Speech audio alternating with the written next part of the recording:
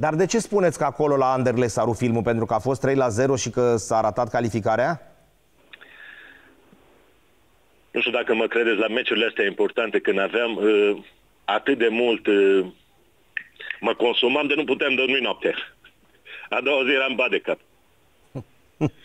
și meciul ăla, mă aduc aminte, era minutul 75, 0-0. Dar ne-au dominat, dominare din aia, dominare. Nu intrase mingea în poartă. Și aici vreau să fac o glumă. Aveam la cornere de ținut pe Janssen, era un Da, optar da, înalt. care a și Janssen. marcat. Și face Neapui Ordărescu, bă, tu ai joc bun de cap, intri în el, îl împingi, ca să nu dea nici el. Și știți la cornere cum ne împingem, ne mai asta, mai punem pumnul, mai Da. da. tragem de tricou, mă calcă pe, pe picior, pe gheată. Și îmi zice, excuse-me, my friend. Bă, și mintea mea, relaxare din aia, ăsta e băia bun. Când mă întorc cap gol. Știți, ar scuz mea dracului. 2-0. I-am spus lui Ordănescu, a râs cu lacrimi. El a părut băia bun așa, da. Ia uite, domnule, își cere omul scuze, își cere iertare. Și aia ce iertare de și retur când o vedit de i-a picat lanțul de la gât lui Vercauteren când a vrut să ridice lăcătuș l-a călcat pe pi- mână. Nici o scuzmi. Ce faci, mai veni cu lanțul aici, la noi? Da. Dacă ar fi ieșit bine meciul acela, bănuiesc că tot greu v-ar fi fost într-o astfel de companie, că tot aveați de luptat pentru un post. Da, tot greu era. Plus că în iarnă venit să age și nu mai, nu, nu mai, era greu de prins.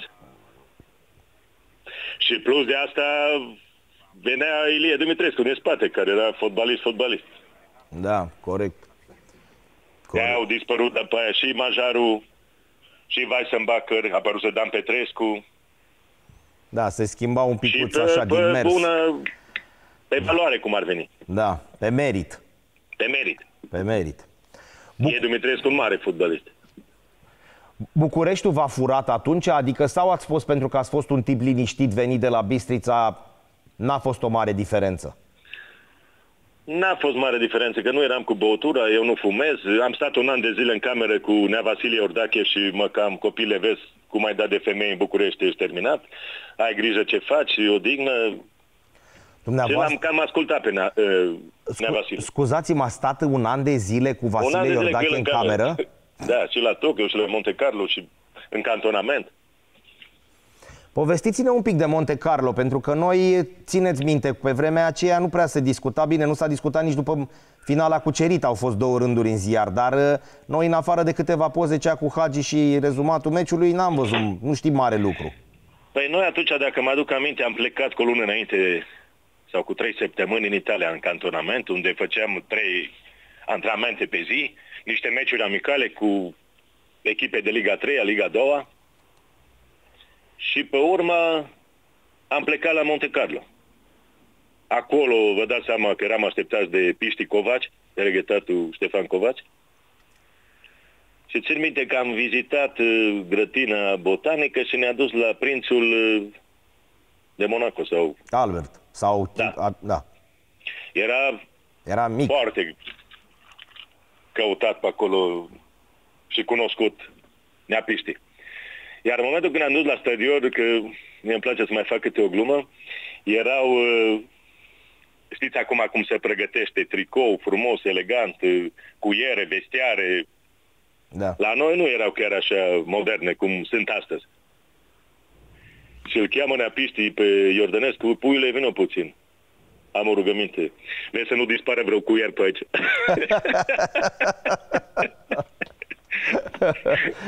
Bună asta. Da. Bună S-a asta. terminat meciul, îți dai seama, a început, ne era frică de ei, vă dați seama, Blohin, Zavaro, Belanov, că îi visezi și noaptea, îi știu pe toți pe din afară. Corect. Corect. Se întâlnise Bioloni cu Raț. Raț știa ungurește. Și spunea că Lubanovski, dacă nu scoți 100 de metri sub 11 secunde, nu intri în echipă.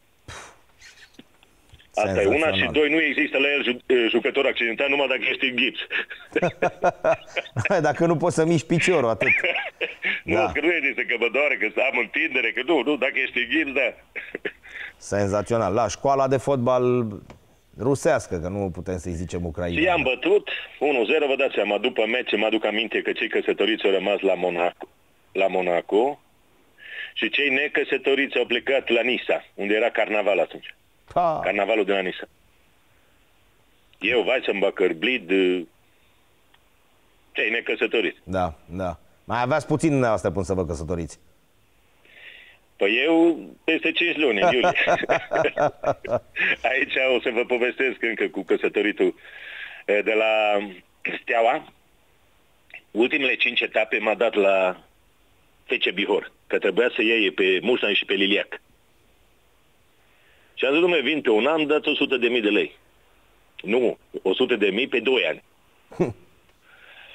mă cheamă Cristi, Nea Cristi Gațu, că era președinte clubului atunci, că Nea Ion Alexandrescu era într-un scandal cu Ilie Ceaușescu, deci am jucat în primul tur, știți, ca să nu fie Beolonii Bumbescu și Lăcătu suspendați. Atunci, în primul tur, dacă jucam, nu mai prindeam mandele, prindeam o echipă mai slabă.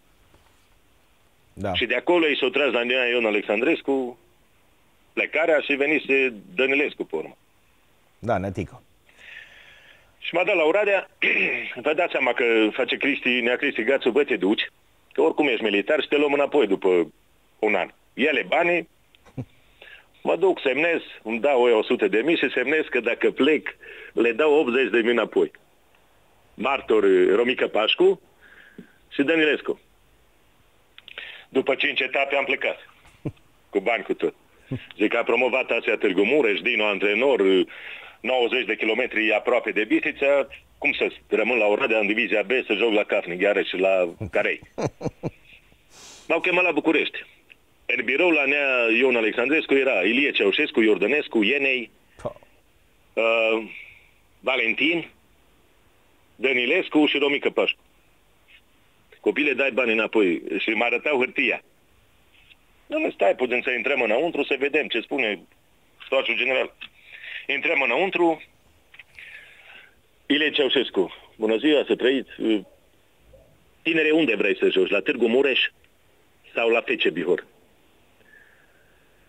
Tovarășul general, execut ordinul noastră, dar să știți că săptămâna trecută m-am căsătorit, i-am arătat verigheta și nu mai am niciun ban.